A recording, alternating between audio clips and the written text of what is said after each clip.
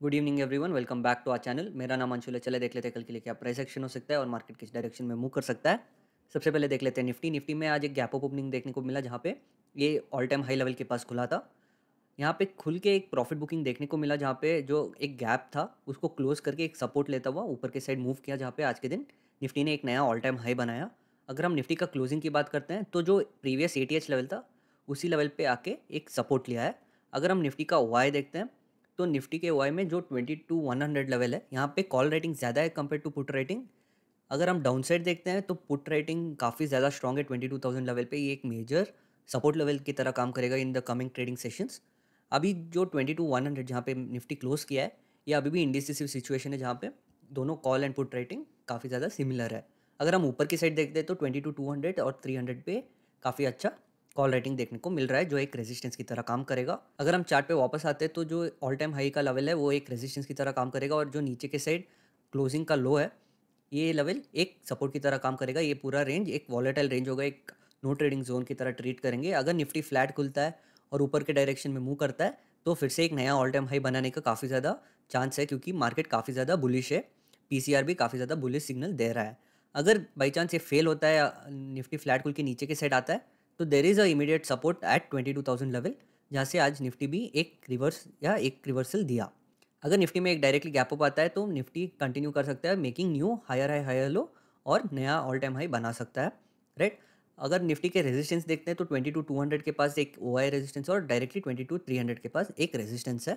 अगर down side पर gap down खुलता है तो ये level twenty two thousand level एक सपोर्ट की तरह काम करेगा। अगर इसका भी ब्रेकडाउन होता है तो यहाँ पे एक गैप सपोर्ट भी है ट्वेंटी वन नाइन हंड्रेड के पास।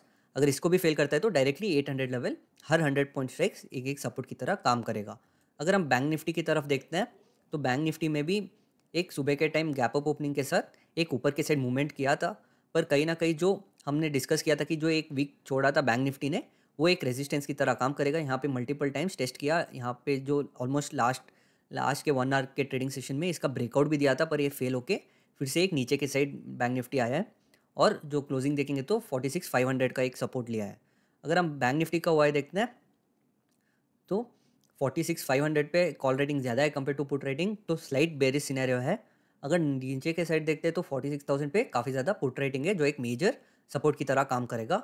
और ऊपर के साइड फोर्टी सेवन थाउज़ेंड पे मेजर कॉल रेटिंग है, ये एक रेजिस्टेंस लेवल की तरह काम करेगा।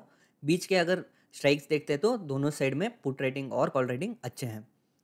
अगर हम चार्ट पे वापस आते हैं तो फिर से जो एक ये रेंज है फोर्टी सिक्स सेवन हंड्रेड के पास एक वॉलेटाइल रेंज होगा और नीचे के साइड जो एक स्विंग दिया या नीचे के जो फाइनल क्लोजिंग का लो है फोर्टी सिक्स फाइव हंड्रेड के पास, ये पूरा रेंज एक दो सौ, तीन सौ पॉइंट का, ये एक रेंज वॉलेटाइल रेंज होगा बैंक निफ्टी के लिए।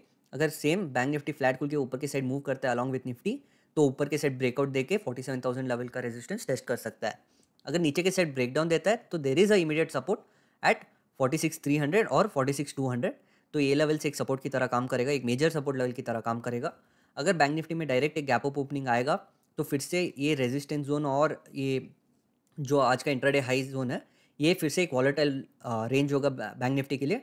अनटिल एंड अनलेस ये फोर्टी सिक्स नाइन हंड्रेड या फोर्टी सेवन थाउज़ेंड के ऊपर जाके सस्टेन करता है बैंक निफ्टी तो एक मोमेंटम प्लान कर सकते हैं।